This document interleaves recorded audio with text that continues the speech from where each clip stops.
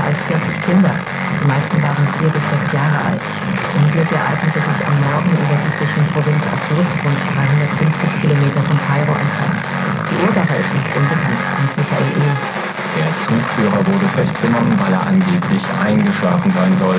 Augenzeugen berichten aber, der Busfahrer, der bei dem Unglück ums Leben gekommen ist, habe den Bahnübergang überqueren wollen, obwohl der Zug schon in Sicht war. Alter von vier bis sechs Jahren waren auf einem Ausflug ihres Kindergartens, als das Unglück passierte. Präsident Mohamed Morsi hat inzwischen den Rücktritt des Transportministers angenommen. Ägyptens Bahnnetz und die Sicherheitsvorkehrungen an Bahnübergängen sind völlig veraltet. Immer wieder kommt es zu schweren Unfällen.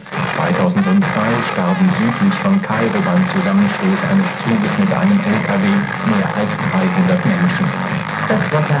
Am Abend und in der Nacht breiten sich Nebel und aus. Im Westen kommt mit der dichteren Bewölkung allmählich etwas Regen auf. Tiefstwerte liegen zwischen 8 und 0 Grad. Dort, wo es länger klar bleibt, bei bis zu minus 5 Grad.